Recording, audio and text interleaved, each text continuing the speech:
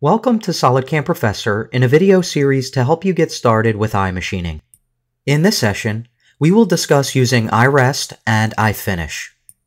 When using iMachining, it is possible to perform an iFinish operation directly after an iRough.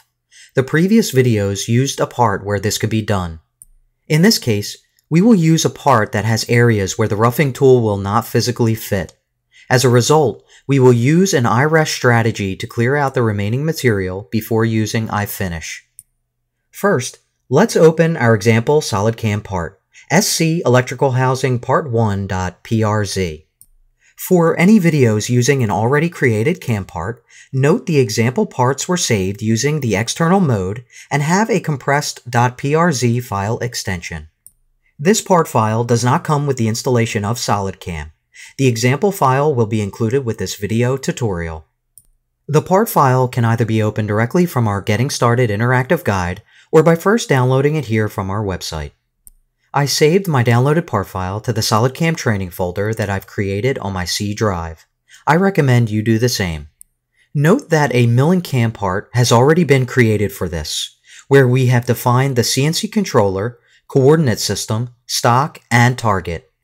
We have also selected the machine and material databases for the iMachining data during the CAM part definition process. In the CAM tree, double-click on Tool to open the tool table. You'll see that I've already defined the tools we'll be using in this exercise as well. We have an 8mm and 6mm diameter end mills. Let's click OK to exit the tool table. Now, let's create a new iMachining operation right-click on the Operations folder in the SolidCAM Manager, add milling operation, and select 2D machining. This will be our roughing operation and we'll use the default iRough strategy for our technology. First, let's define our geometry. Click the New button. Here we have a closed pocket with three islands. Pick on the lower contour of the pocket in the SOLIDWORKS graphics area, as shown here. For this example, we cannot use auto constant Z alone to close the chain because of this smaller pocket. Using the geometry edit dialog on the left, let's select the auto to function along with auto constant Z. Pick the lower contour of the pocket in the SOLIDWORKS graphics area as shown here. All connecting entities on the same Z level will be automatically selected up to that point. Next, Let's select point to point from the Geometry Edit dialog on the left. Pick the two points off the model in the SOLIDWORKS graphics area to close the chain, as shown here. Then, click Yes to accept the selection. Our toolpath will work inside this geometry. Next, we will define the geometry for the islands by using the Geometry Edit dialog and picking our chain selections right off the model in the SOLIDWORKS graphics area, as shown here. We can accept each geometry selection by clicking Yes when prompted by the OK to Accept dialogs. Our toolpath will now work around these islands. Once satisfied with all of our selections, click OK to close the Geometry Edit dialog. Moving down the tree, let's select our tool from the tool branch. Click Select to display the tool table, then select the already created 8mm end mill from the list. Click Select to exit the tool table. In the Levels branch, let's set the milling levels for this operation.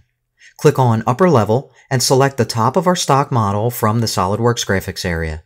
Then click OK to accept the selection. Next, we will pick the pocket depth by selecting the Pocket Depth button.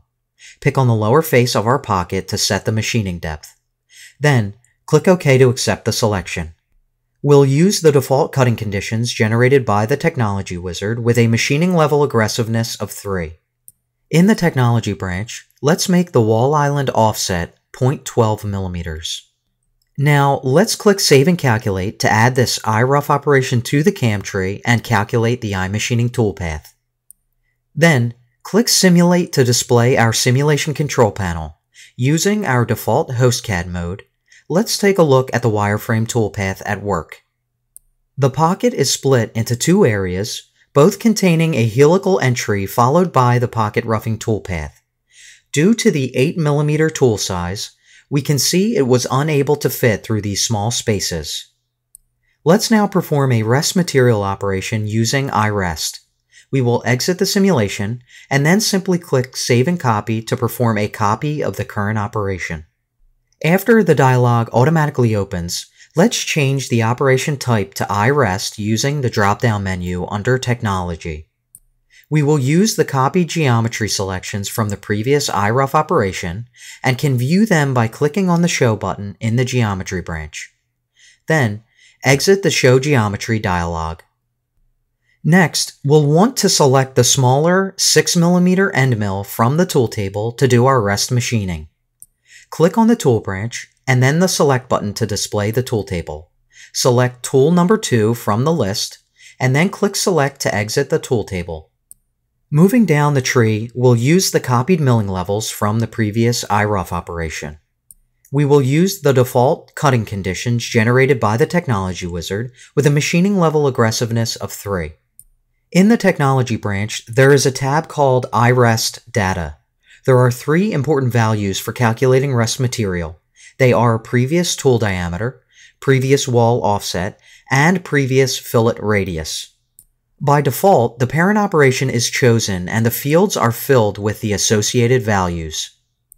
These values may also be entered manually by selecting User Defined from the drop-down menu. You'll notice the fields are now open to be edited let's leave the default iRough contour. It is important to know that the wall offset for rest material must be greater than zero, but less than the previous wall offset. We can compare those values under the iRest Data and Technology tabs.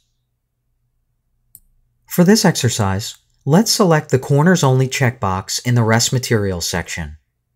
When the option to clear corners only is selected, the wall island offset is inherited from the previous iRough operation, and the input field text box becomes locked.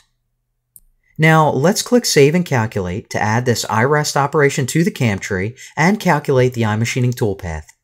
Let's click Simulate. Let's take a look at the iRest toolpath using HostCAD. Slow the simulation speed down a little, and then press the play button. Using corners only, we can see the toolpath working in the bottleneck areas as well as clearing only the corners. Let's now use iFinish to perform a final finish pass along the walls and islands of this pocket. Exit the simulation and then simply click Save and Copy to perform a copy of the current operation. Again, we will change the operation type under Technology. Let's choose iFinish from the dropdown this time. Most of our selections will remain the same, the geometry, our 6mm tool, and milling levels. We'll also use the default cutting conditions generated by the Technology Wizard with a machining level aggressiveness of 3. Let's click on the Technology branch and move to the iRest Data tab. We can see that our previous iRest operation is selected as the parent operation by default. The fields are automatically filled with the three important values needed for calculating rest material. Let's switch back to the Technology tab. Note that our wall island offset is now set to zero. Under the Finish section, we are now presented with our options for this iFinish operation.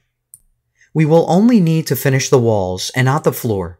In this example, we can select either total depth or each step down under the wall finish section since the total depth and step down value are the same. Let's also select the Spring Pass checkbox. Spring Pass will perform a secondary finish pass along the walls to ensure our pocket is finished more accurately and dimensionally correct. Now, let's click Save and Calculate to add this iFinish operation to the cam tree and calculate the iMachining toolpath. Then, click Simulate to view our toolpath at work.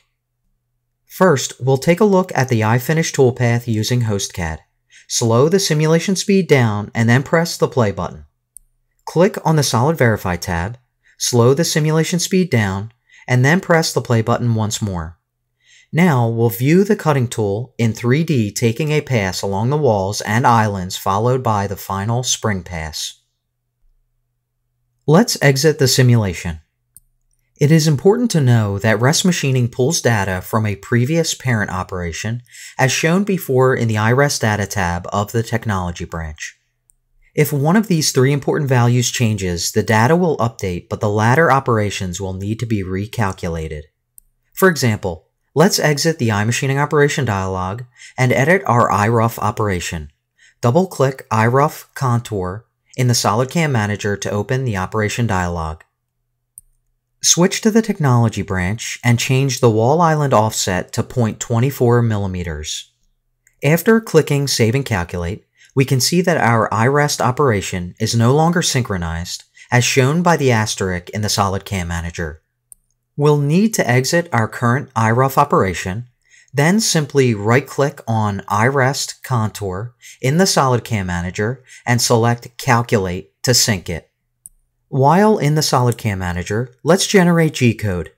Right-click Operations, G-code All, Generate. The generated G-code for a 3-axis Haas SS opens a notepad for us to view. And this concludes our fourth session in the SolidCAM Professor video series to help you get started with iMachining, where we discussed using iRest and iFinish. Thanks for watching. Please join us for our next few sessions, where we'll define different types of geometries.